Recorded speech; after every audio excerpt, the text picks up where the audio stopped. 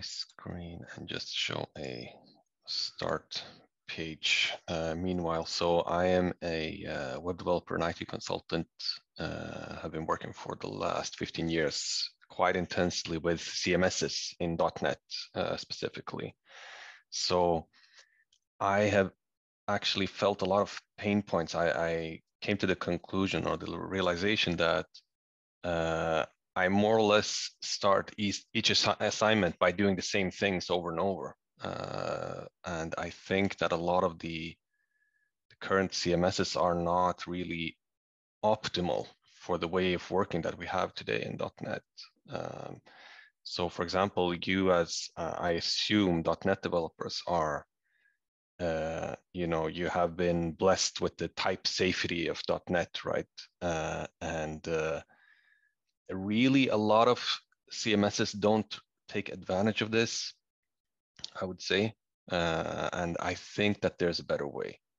Um, so I, I, would say that Cloudy CMS builds upon two core tenets or principles. Uh, the first one is that the code is really king or queen, or, or how, however you can uh, put that, really that you need the developer to code the website. I don't believe, we, or rather, we reject the concept of a website that doesn't require a developer. Uh, that's you know that that's not something we believe in. Uh, Cloudy CMS is very much a development intensive uh, system because that is the best way of working. So I will give you an example, which is the content data model of the CMSs. Uh, which is, for example, your page types and your properties. Um, if you have worked with Episerver, for example, you will know that before version seven, yeah, before version seven, the data type uh, or the, the content model was saved in the database. So if you created new properties or new page types, then if you deploy from your test development to your staging environment, for example, uh, that will mean that you need to deploy the code and you also need to deploy the database. And that is really actually problematic because you as a developer don't want to deal with the actual data. You're responsible for the logic, right? And the and the structures. So I believe that as you develop, if you have, let's say, four environments, so let's say you have development, testing, staging, and production, or, or something similar, your code will actually bubble up so it will begin in, in the development environment, it will progress to the testing environment, then to the staging or QA environment, and then to the production environment. But the data actually will bubble down. So you will actually backstage the production environment to the staging environment, and then you will copy that eventually to this testing environment to have you know representable uh, data to test against, and then you will copy that to the development environment. Um, and that kind of clashes uh, if you're having a directional flow from the database from production to the, development, then you can't have changes that need to go the other way because then you will have to solve that problem somehow. Uh, thankfully, Episerver solved this in uh, version 7 when they uh, incorporated the, the page type, uh, the, um, the page type builder, you know, uh, plain old C sharp classes uh, to define their page types or content types. So that's a really good design decision, I think, and uh, that's one that we uh, copied, uh, to be honest. And that that's really the first core principle of the, of Cloudy CMS that the developer and the code is is what we should be dealing with, not data, right? The second thing is that the the CMS shouldn't try to overreach, or it shouldn't overreach at all, actually. So if you take again Episerver or even Umbraco or or Piranha CMS, they more or less have their own database solution, you know. So uh, Episerver has their own like kind of document database implemented in a relational database, so you can't really change database uh, technology. You can't use MySQL, for example. That would be just plain impossible because it's hard coded. Uh, the user login system. It's hard. It's hard coded. I mean, the uh, not the login system, but the user administration system. It's just hard coded into the system, uh, into Episerver. So it really it does a little too much, I would say. Um, and I think I think I will give you a refreshing uh, perspective uh, by by demonstrating how a simple website is built in in Cloudy CMS. So this presentation will be maybe 15 20 minutes and then we can take uh, questions and answers if you uh, if you have any uh, or, or discussion plain and simple. So let me show you a an empty .NET application. This has nothing uh, special really. Um, I only prepped it by uh, this uh, just adding a user secret uh, so I have that ready don't need to enter any credentials uh, on screen. So let's start this up and it runs hello world. Uh,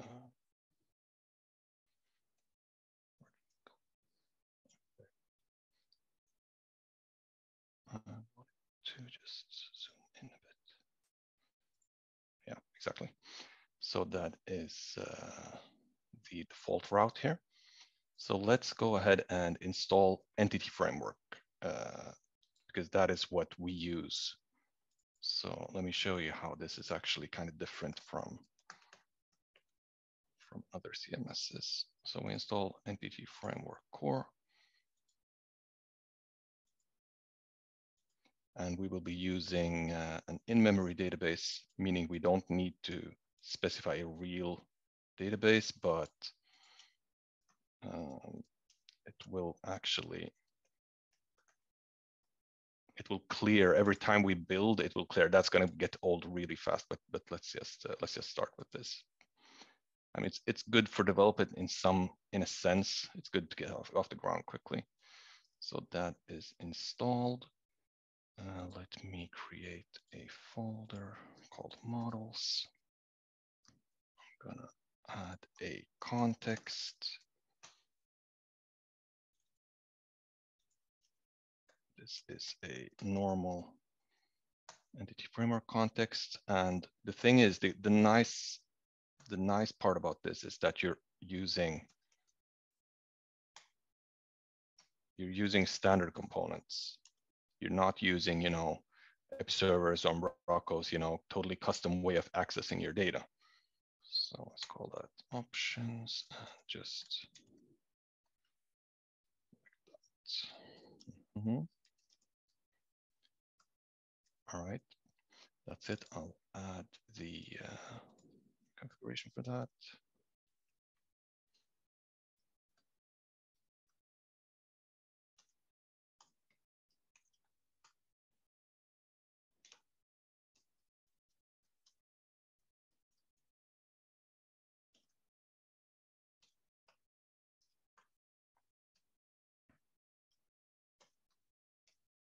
So far, so good still running. Get the check, sanity check. And um, right, let's go ahead and install Cloudy CMS. So we'll go to NuGet packages. We have Cloudy CMS here. That is just a thin layer upon over uh, entity framework to bring in like a kind of a meta model. And then we have the UI portion, which is a, the actual admin area, so to speak. Uh, we'll actually also install a media picker. Let's do that right now, actually.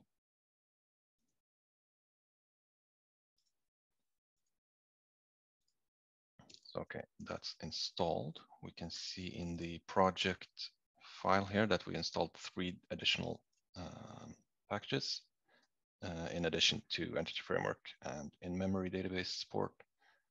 Uh, let's go ahead and add Cloudy.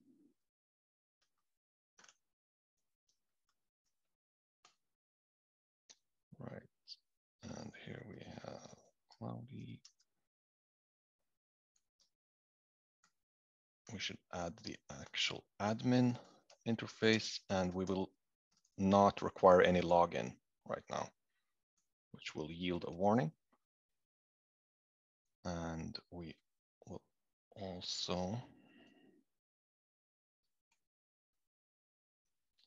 we will add a context, which is the context I created for Entity Framework.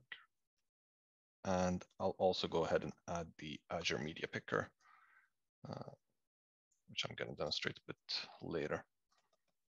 All right, that's, hope that's simple enough. And we shall start using Razor Pages and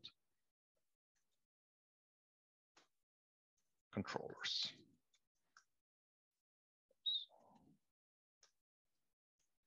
I think that's it.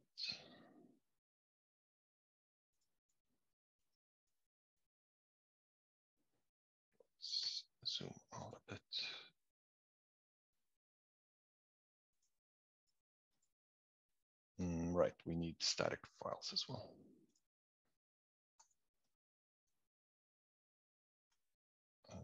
Static files, options. And this is instead of adding a cache buster to each URL. Right, right. So now we have the empty, clean slate, cloudy admin interface, right?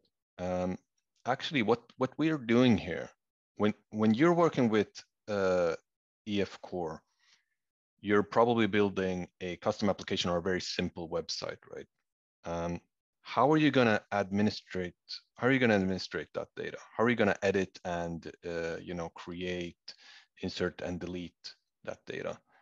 Um, you're probably going to create your own little CMS, uh, or you're to auto-generate it with uh, help of the Visual Studio um, the EF Core tools, right? And that will essentially result in possibly hundreds of files uh, with really, there's so much repetition and um, the, the error margin is just too high that I, I find it quite, uh, you know, inhuman to work like that.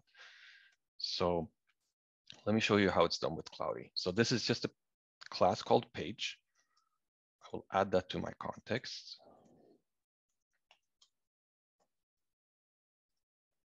page. Oh, right. Good. It shall have a, an ID, a name, description. Okay. Let's see, and that actually worked. It took the class name and it pluralizes that, so it adds S to that, which is kind of nice. And uh, let's create a new page.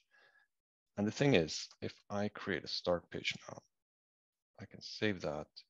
And this is actually the, the, the, main heading of this of the edit page, right? So it uses one, which is the ID.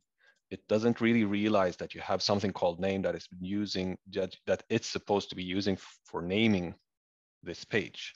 So I, we actually have an, an interface for this which is called nameable. And now you're going to see why I told you that in-memory databases get old real fast because now it cannot find the instance I created because I made a change, I compiled, and now the in-memory database is cleared. So I need to create that again.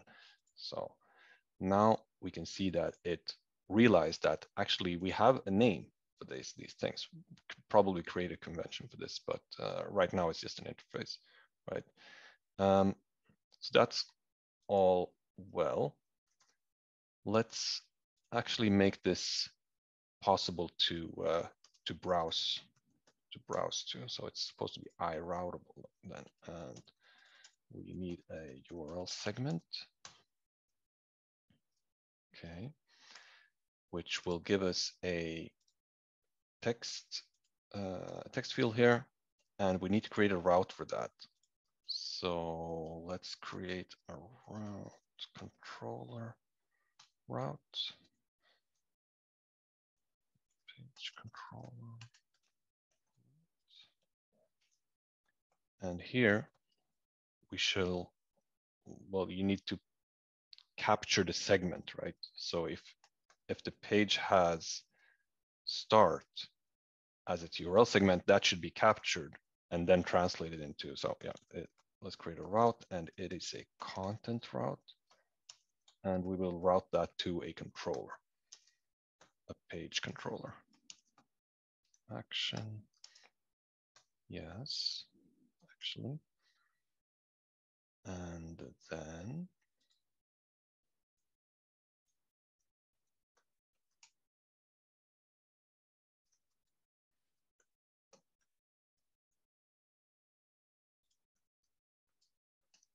I hope that this is, uh, you know, if one wouldn't know, if you wouldn't know .NET, then you would be like, why are you doing all this work? I mean, this is all very strange, but as a .NET developer, this is basically how you, this is how you work, right? So we have the page controller. If I create, right, it will actually complain that I don't have that view. So let's go and create view as well inside the page folder because it's the page controller and then an index. Mm -hmm. View. Um, right. Let's see. Now, if I write hello here, uh, start page here, I have a view button here actually because Cloudy searches your, it scans your routes. Your route collection is actually scanned by Cloudy. So if you create a route for this, then yeah, it'll, it'll just help you and try to be as smart, you know? So, okay, so that works. How can I actually get access to this? So let me just go back here because I will need to create this start page again when I change. So the page controller, we have the word hello in the URL, right? That is captured by the con content route. So here we should be able to get the page.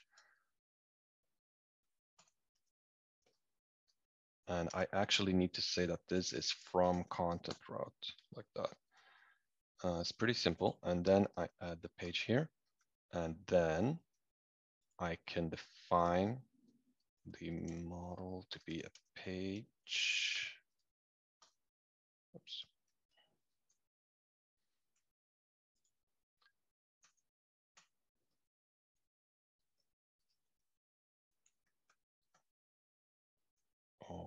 Okay, I think that's it. Let's do this again. Start page, hello,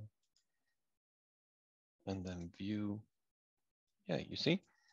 So this is pretty cool, actually. I, I, I kind of like this because um, there was a question uh, before the uh, the presentation that like what what's the difference between Piranha CMS and Cloudy? Well, in Piranha CMS, you don't actually see EF Core. It's it's using ECF, uh, it's using EF Core internally, but it's not.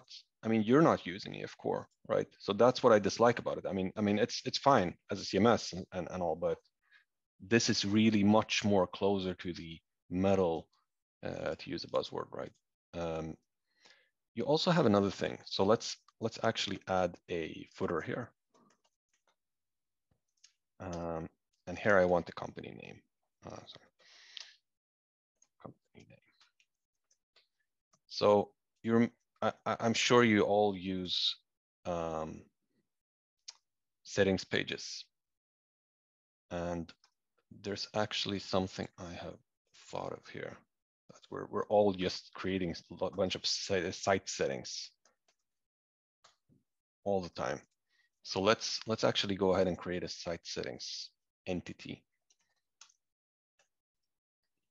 Site settings like that.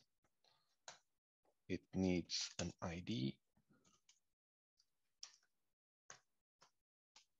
And it needs a copyright. And I didn't add name because that's not necessary. If I need a name, then, uh, then I can add that. But now I'm actually gonna implement the interface called singleton. And I think that's it actually. So let's see. Now we have the site settings. And this is a singleton, meaning it's it's a very simple interface that, but it's kind of it's kind of nice conceptually because this means that you can't list site settings. You're only allowed to create one. Uh, so my company is here like that. I'll create a new page because it's disappeared because I'm using the in-memory database. And hello, like that, and view. And all right, I need to change here. Right.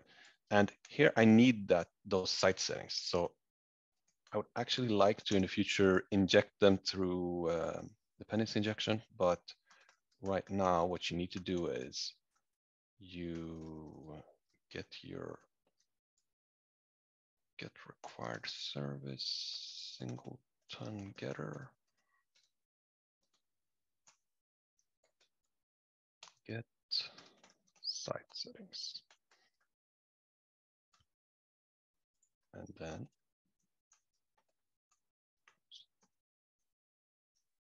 um,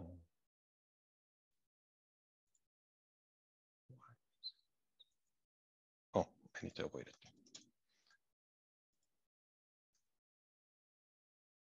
Okay. And we will have to create this again. So the start page and the site settings need to be created, my company. All right, and we go to the page again here. View, and it works. This is kind of nice actually. So it it it kind of like elevates the uh, the importance of the concept of singleton entities, meaning site settings. Uh, so any site, any settings or anything that actually should only ever exists at one single entity, you can you can um, inherit that uh, interface.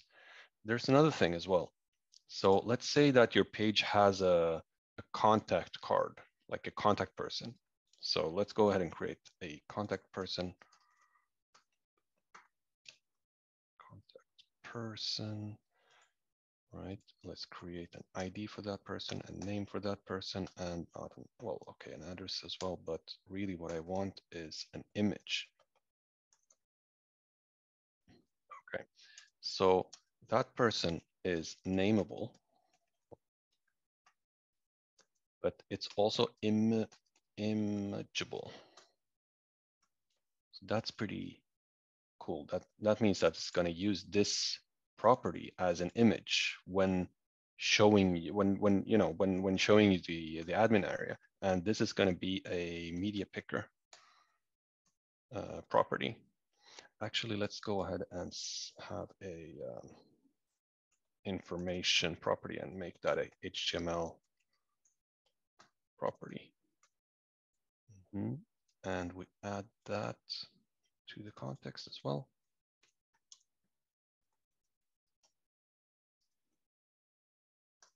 right? And also we're actually gonna be picking for each page, we're gonna have a contact person. So we are going to use a select for that, the type of contact person.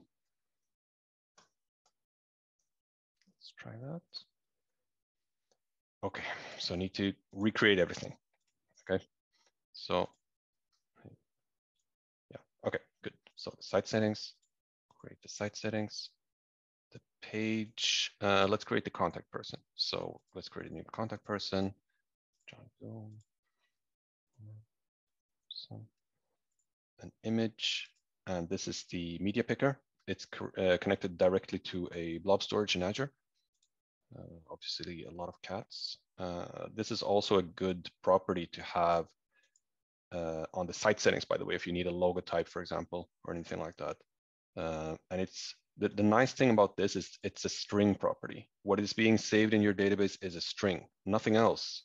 Um, so that's, um, I, I really think that this is kind of, you know, almost to the point of being graceful. So let's save that. And let's create a page again. Start page hello, and the contact person. So now this list actually recognizes that we are listing uh, an entity of that is implementing the imageable and nameable interface. So it'll actually use that data to show you. It it, it kind of adjusts the uh, the experience uh, for you based on that. So that's that's kind of I think that's kind of useful. Um, this is basically it. We have one feature that's really cool, but it's not really, it's not live yet, which is actually um, blocks.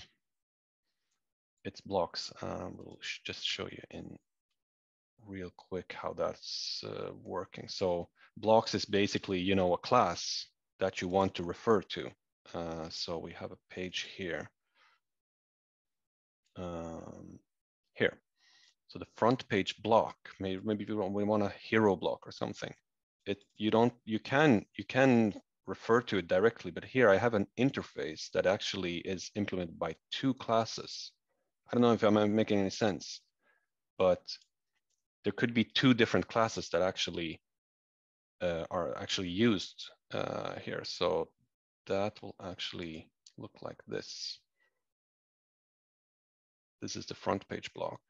And when you add it, it will know, it, it kind of scans your type hierarchy and sees that, okay, these two classes actually implement this interface. And then you can, you know, can switch between them. We're also launching this pretty, um, pretty powerful um,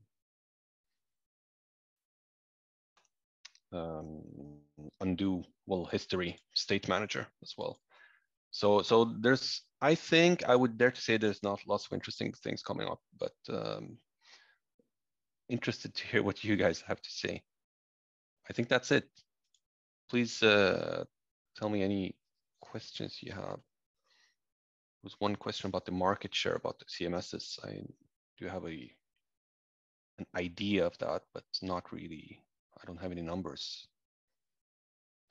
If there's any other uh, questions, perhaps.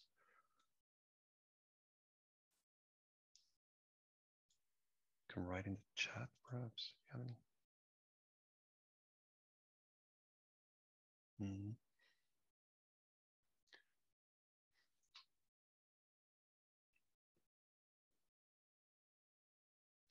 How to easily support staging and prod.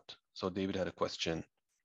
Uh, well, really, it's supposed to be we're we're, you know, it's kind of what they say in that song. You know, we're we're bringing it back. You know, where this is basically 100% standard .NET development. You're really not using Cloudy. You're using EF Core. So how are you supporting staging and production in EF Core? That's how you should uh, how, how you're supposed to be thinking. There's no surprises here really. Uh, we're not storing your data in any strange way. We're not we're not actually involved at all in how you store your data. Uh, there's just a few support classes in the front end uh, to get singletons and stuff.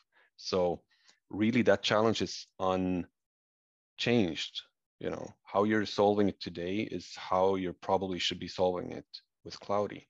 Uh, we're really bringing the uh, the admin interface and a little bit of utility uh, in your front end. Um, supporting staging and prod, bit of an open-ended question, I think. Uh, but you know, in EF Core, you have these migrations, you have seeding, uh, you have um, you obviously uh, perhaps do backstaging of uh, databases before you go to staging. Uh, that might be it. Um, so yeah, uh, please please type any questions you have uh, and, and uh, thoughts and opinions, um, feedback. Um, maybe something that could be improved with my probably with my presentation. No slides, for example. I don't know if that's a good thing um, or, or a bad thing. Ah, yes, this is a very good question. So Alex said, is it possible to implement custom controls, for example, some fancy gallery and import and install custom controls via NuGet packages as you did with the media picker? Yes, that is absolutely possible. Right now, well, in the in the currently live version, we're using uh, plain old ASP.NET. So you use a UI hint to uh, actually show that um, what we did with the HTML control. Let me share my screen again real quick. Uh, so basically, we're not doing anything fancy with the HTML control, for example. Here you see. Uh, it's just a plain old UI hint, which will actually uh, get a, let, us actually go ahead and change this to, uh, to something else. We'll see. Uh, so here it is, new page. No, this is the, this is the contact person.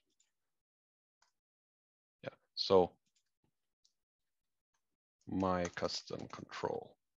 So if I change that, I will get an error here because it's trying to load the CHH, uh, I mean the Razor file, the partial from these different locations. So it is, uh, I, it, it's completely customizable. But right now we're actually doing a rebuild of this uh, into a dynamic um, um, front end. So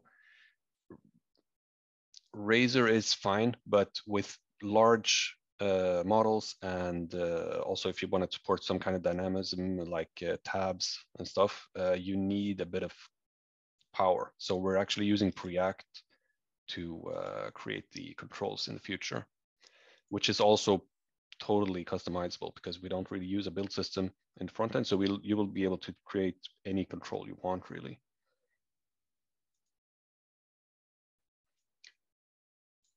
Right, the license.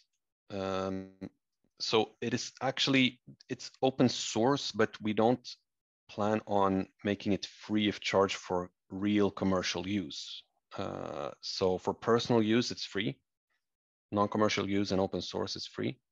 Uh, we will be having uh, pricing for commercial use. Uh, it is available on the website, but it's uh, a little bit in flux, but that's uh, is here. Uh, that is something I really uh, dislike with, uh, you know, the, the best development experience is in the current state of the .NET landscape is Episerver. You know, it has the best development experience because it's code first. Um, but they charge, you know, they charge, they're really good at one thing that's charging. I mean, what, what is it, like $4,000 per month, maybe for a production instance.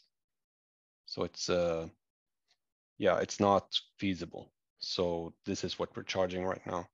But um, really curious to hear your opinions about this.